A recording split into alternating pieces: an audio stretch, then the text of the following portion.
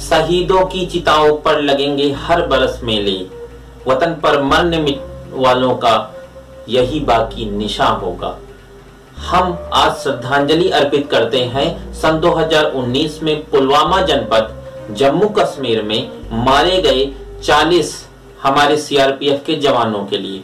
ये माँ भारती के वो लाल हैं, जिनको आतंकवादी गतिविधियों में बॉम्बर्स ने मार दिया था और इनको जो मारने की तिथि थी, वो 14 फरवरी थी, जिसे ब्लैक डे के रूप में पूरा देश मना रहा है।